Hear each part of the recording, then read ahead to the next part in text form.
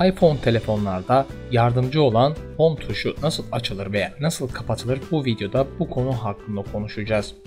Home tuşunu ekrana getirmek için ayarlar, genel, erişilebilirlik ve Assistive Touch yolunu takip edin ve daha sonra açılan ekranda bu özelliği aktif hale getirin. Siri'ye yalnızca Assistive Touch özelliğini aç komutunu vermeniz Home tuşunu ekrana getirmenize yardımcı olabilir.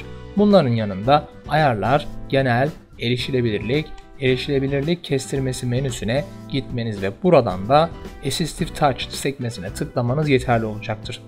iPhone telefonlarda fiziksel Home tuşu yerine Assistive Touch özelliğini kullanmak ve dijital bir Home tuşu oluşturmak mümkündür. Bu özelliği aktif hale getirmek içinse vermiş olduğumuz bu farklı yöntemlerden birini tercih edebilir ve istediğiniz şekilde etkin hale getirebilirsiniz.